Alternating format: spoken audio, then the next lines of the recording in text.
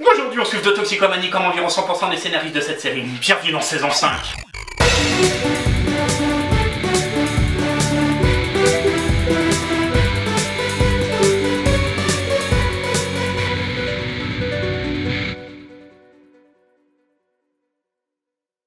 Bon bah ça va être rock'n'roll, comme vous vous en souvenez, on s'attaque à la saison 4 et 5 de Sliders, cette fois-ci diffusée sur Sci-Fi. Sci-fi. Sci-Fi. Après la mort tragique d'Arturo, il est remplacé par Maggie Beckett. Maggie Beckett, c'est une militaire à tendance scientifique qui sait absolument pas tenir une arme et qui suit notre équipe pour venger son mari tué par l'assassin d'Arturo. Après moult péripéties, crépage de chignons et vengeance en tout genre, ils finissent par obtenir les coordonnées de leur terre d'origine. Voici mon énigme. Elle permet de rentrer chez soi. Mais personne ne vous en a jamais parlé. Euh...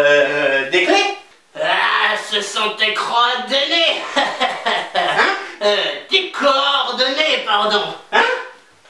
Au moment de faire le dernier saut, Queen chope Rembrandt et Wayne et les jette directement dans le vortex, direction la maison. Pendant que lui, il va aider Maggie aux prises avec des vilains, mais elle a son propre minuteur qu'il reparamètre afin de suivre le puits de chaleur de leurs amis pour aller sur la terre d'origine. Or, Maggie ne peut pas respirer sur le monde d'origine. La dernière fois qu'elle y était, elle a failli mourir, mais ça, c'est pas grave. Ils finissent par glisser et se retrouver encore sur une terre différente, sans savoir si leurs amis vont bien. Premier épisode de la saison 4, ils se retrouvent enfin sur la terre d'origine. Maggie commence donc à étouffer, mais au bout de quelques minutes, ses poumons s'endaptent comme de par hasard. Ils se mettent donc à la recherche de leurs amis. Mais malheureusement, ils tombent sur leur pire cauchemar. Les chromags, péjorativement appelés mags ou magos, une espèce de primate humanoïde avec un penchant pour la course à la technologie et ils cherchent à conquérir tous les mondes.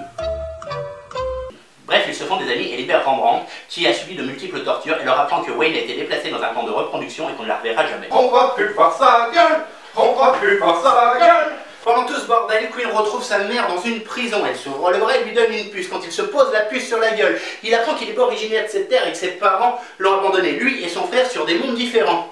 Mais que sur leur terre d'origine, ils ont réussi à vaincre les chromags. Il faut donc qu'ils retrouvent tout ce petit monde afin de sauver tous les univers.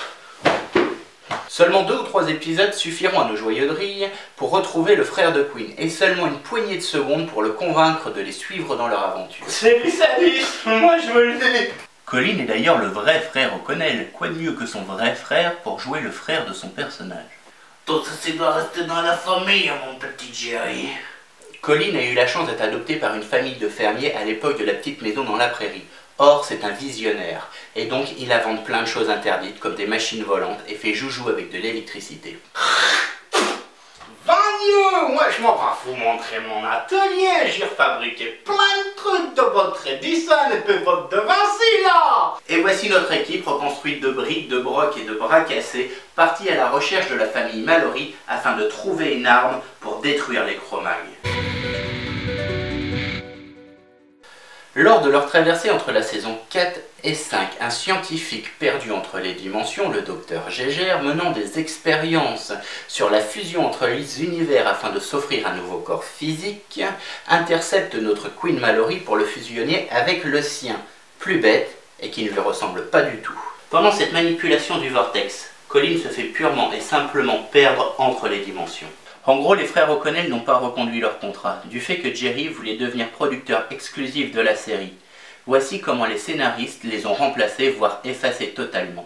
Bon les gars, j'ai une idée. On a qu'à remplacer Queen par un de ses doubles, et ce sera pas du tout lui.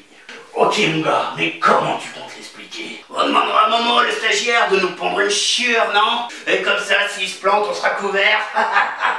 Et pour l'autre là, on fait quoi? Colin On s'en fout, on a qu'à dire qu'il a disparu Ouais, t'as raison, Almond Pendant leur recherche pour comprendre pourquoi Queen a changé de tête, ils rencontrent Diana Davis, l'assistante du docteur Gégère, qui comprend bien vite que son mentor est une immonde crapule et qu'elle ferait mieux de suivre nos glisseurs. Et voici comment le quatrième membre de l'équipe les rejoint. Elle est intelligente, belle et médecin. Quoi de mieux pour la glisse? Pour les puristes et sûrement aussi pour les créateurs de la série. La saison 1 et 2 sont celles qui représentent le mieux l'âme de la série. En plus d'être divertissante, elle nous offre à chaque épisode une vision différente de notre monde, inscrivant la série dans une dimension anthropologique, nous obligeant à nous poser des réflexions sur nous-mêmes ainsi que sur notre monde. La saison 3, quant à elle, est aussi utile qu'un pénis sur appart ou qu'un raccord maquillage sur quelqu'un qui n'aurait pas de bouche. Ce n'est pas que les épisodes ne sont pas divertissants, mais on dirait qu'ils ont été écrits pour KD2A. On a perdu la profondeur des premières saisons et on s'enlise petit à petit dans une guimauve prépubère tirée de la littérature jeunesse. La saison 4 est bien sûr différente de la série originale, mais si vous la regardez aujourd'hui, c'est sûrement la saison qui vous accrochera le plus. On est loin des recherches anthropologiques développées dans la saison 1 et 2. Mais il y a un vrai scénario sur la longueur, avec un vrai but offert à nos héros, et pas juste le fait de rentrer chez eux. Pour moi, c'est un vrai bonheur. La saison 5 est dans la lignée de la saison 4, toujours aussi bien faite. Le seul souci, c'est qu'on l'a tellement perdu de personnages pour en retrouver d'autres, qu'on perd un peu le goût à suivre nos sliders. Si on fait un peu abstraction de ces changements de casting, c'est une très belle suite offerte à la série et un dernier chapitre, dirons-nous, honorable. Si on prend une vision d'ensemble de la série, elle mérite clairement qu'on s'y intéresse, et les quelques heures passées à mater l'intégralité des 88 épisodes ne seront pas du temps perdu. Néanmoins, j'aimerais poser une question à propos des graphismes. Plus on avance dans les saisons, plus les effets spéciaux deviennent moches. Prenons par exemple les vortex de la saison 1 à la saison 5. Pourquoi ils deviennent de plus en plus moches? Une autre question me turlupine. Pourquoi avoir autant chié les vrais méchants de l'histoire? Car si on fait des recherches sur Internet, les chromags ont une réelle mythologie, ils leur ont créé une langue complète, mais tout ceci n'a jamais été réellement utilisé dans la série. Avec le recul, je pense que la série est là pour créer un pont entre les séries dites euh, intellectuelles et les séries plus pesantes de l'époque, pour réunir toute la famille devant une seule série. Car si on y regarde de plus près, Sliders est une série excessivement racoleur, posant à doigt dans tous les thèmes qui faisaient les succès des séries de l'époque.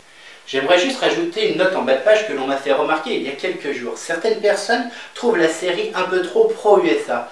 Peu importe ce qu'il se passe dans les différents mondes que l'on visite, on se retrouve toujours aux bons vieux États-Unis d'Amérique. Voilà, beaucoup d'informations pour ce second épisode. J'espère que vous avez été aussi paumé que moi la première fois que j'ai regardé cette série. Néanmoins, j'espère aussi ne pas avoir été trop fatigant à regarder. Bref, d'avoir été comme la série. Et en novembre, on parlera d'amour et d'hallucination, le tout en musique.